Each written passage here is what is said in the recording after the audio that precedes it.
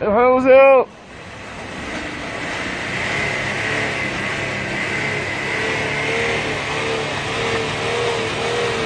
가보세요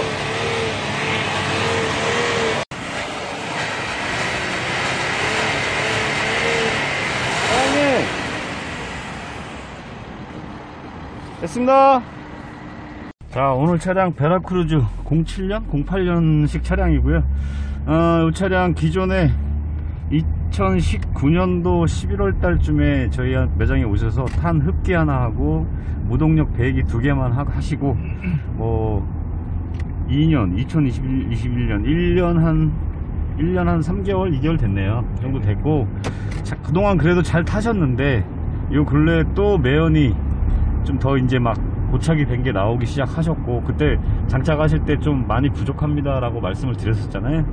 그래서 오늘 방문하셔서 어, 탄 터보의 D타입 하나 그리고 라파 플러스 원 9개 매연이 좀 많이 나왔습니다 9개 하고 그리고 어, 고스트 팩 6장 그리고 파워 고스트 냉각수 두 통은 역시나 어, 냉각수를 점검을 해 보니까 오염 정도가 너무 심해서 어, 우리 여기 위에 또 아는 동생이 차를 잘 만드는 곳이 있어서 거기 가셔가지고 냉각수 교체하시면서 넣으라고 챙겨 드렸고요 지금 잠깐 타봤는데 어때요? 어, 차잘 나가는데. 잘 나가죠 놀랬죠 지금 솔직히 놀라셨을 거예요 어, 갑자기 부드러워졌네. 그렇죠. 이렇게 됩니다.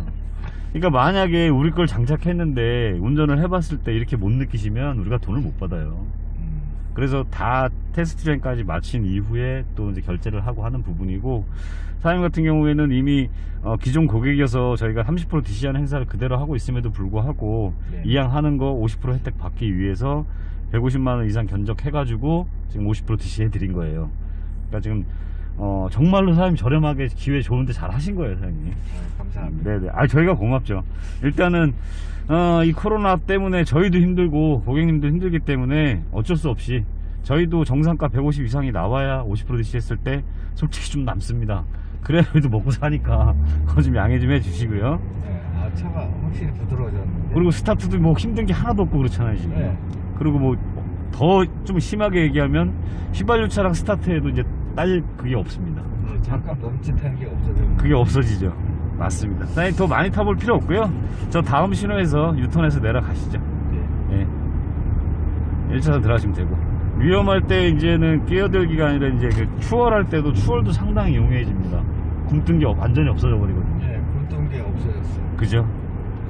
재밌습니다. 엑셀을 살짝만 밟아도 차가 잘 나가는. 잘 나가죠. 희한하네. 희한합니다. 그러니까 기존에 그 조금만 하셨던 분들도 지금 사장님은 좀 꽤 여기서 유턴할게요. 네. 엑셀 뛰세요 벌써.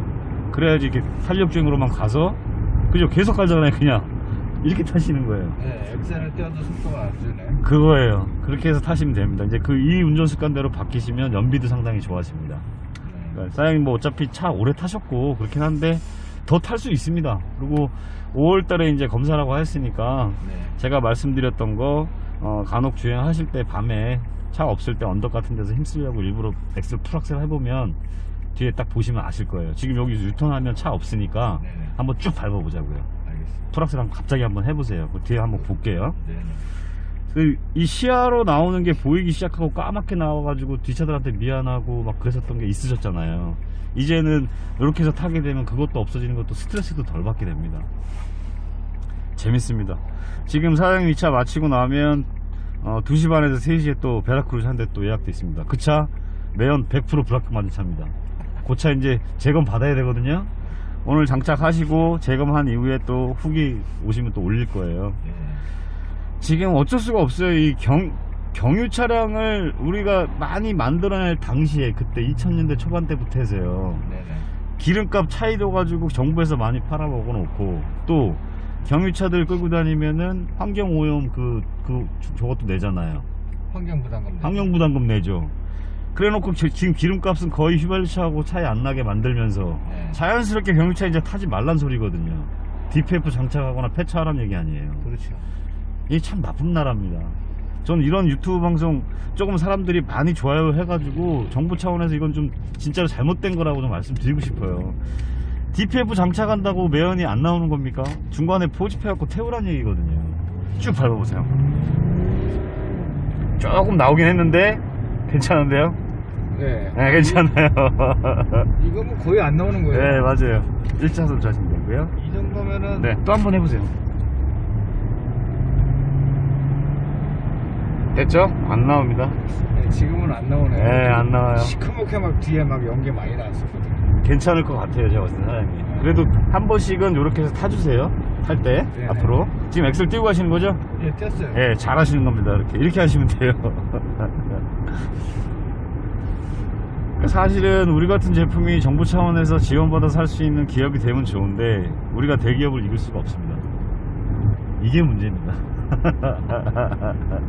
그리고 사실은 우리 사업이 너무 잘 되면요, 우린 대기업의 타겟이 됩니다.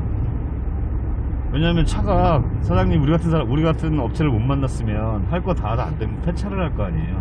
그럼 새로운 중고차를 사든 신차를 사든 순환이 된단 말입니다. 근데 우리, 우리 걸 닮으로써 더탈 수가 있잖아요. 그러니까 이거 네. 베라크루즈는 매연만 안 나오면 저 이거 타다가 전기차로 나중에 바꿀 거예요. 아, 대부분 다 그래요. 맞아요. 다 그렇게 됩니다. 이제. 앞으로는 그렇게 될 수밖에 없어요. 하여튼 또 먼 걸음 해주셨는데 확실히 틀리죠? 지금 달라진 게 뭐뭐 있어요, 사장님? 타보시니까. 어, 차가 굉장히 부드러워졌고요. 그쵸? 네. 엑셀을 살짝만 밟아도 되고. 그렇죠.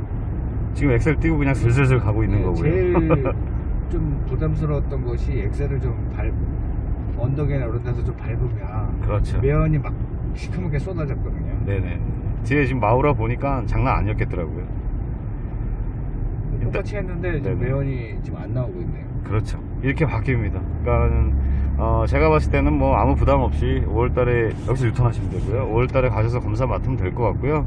네. 그때 검사 받으시면서 몇 프로 나왔는지 또 뭐 사진으로 찍어서든 아니면 뭐 전화 주셔가지고 얘기 좀 해주시면 저희 도 자료로 쓰겠습니다.